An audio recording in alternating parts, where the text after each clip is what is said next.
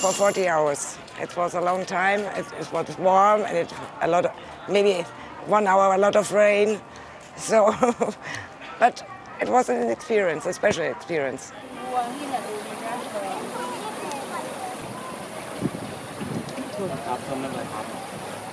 เราคิดว่ามันเหมือนเออ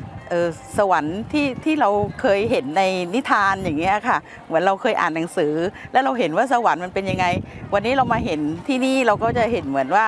เออเราเห็นของจริง 13นาฬิกา10 นาทีค่ะท่านที่ประสงค์จะออกจากพระเมรุมาตรและคิดถึงตลอดเวลาค่ะ ยังคิดถึงทุกครั้งที่ที่ท้อแท้หรือว่ามีความสุขเราก็คิดถึง เห็นดอกดาวเรืองหรือจะเห็นอะไรเราก็จะคิดถึงท่านตลอด เพราะว่าท่านอยู่ในใจเราเสมอค่ะไม่ออกไม่เข้าไปชมนะครับนั่งอยู่ก่อนนะครับ เดี๋ยวเจ้าที่จะไปแจกให้นะครับล่ม